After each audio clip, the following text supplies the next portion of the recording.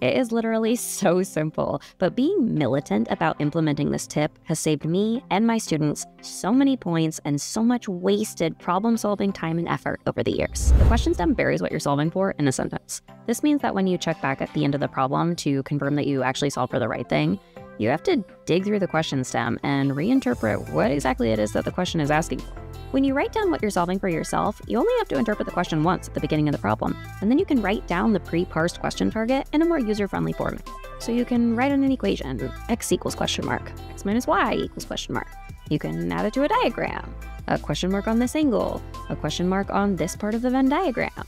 You can add a big circle or a big arrow to draw attention to it so you don't forget about it later on. The question stem is written by the test maker who is literally trying to get you to make a mistake you are on your own side. So, for something as important as the thing you're solving for, it's better to rely on yourself.